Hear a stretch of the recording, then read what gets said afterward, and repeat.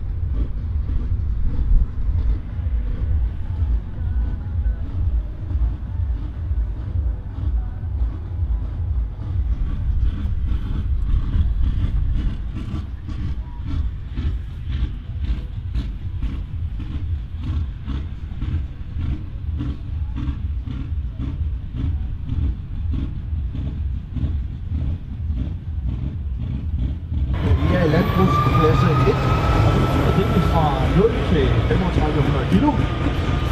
Jeg kan jo sige, Lige lukke cigarrøg i.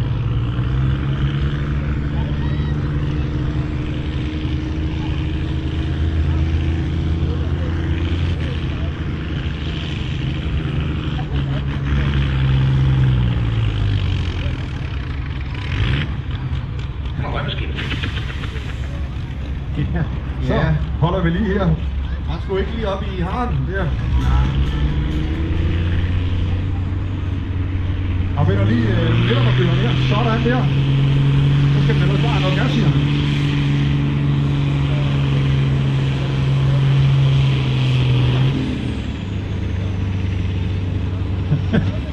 ja, det var anden træk til 50 meter. Så er vi næsten nede på de 100. Dyr, altså spændende. Det var et fint træk.